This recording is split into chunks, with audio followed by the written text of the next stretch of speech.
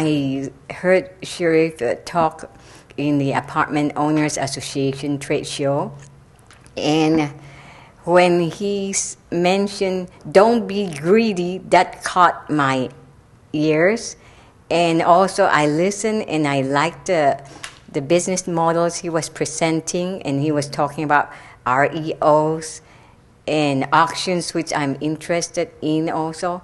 So I thought I'll just sign up and come. And uh, he seemed like uh, very real. He has ethics, and he seems like somebody I can really trust and can be a mentor, a good mentor for me that I'm been looking for.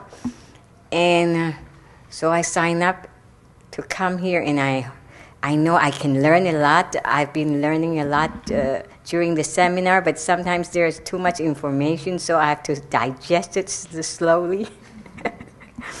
and uh, I know it, it's going to bring far.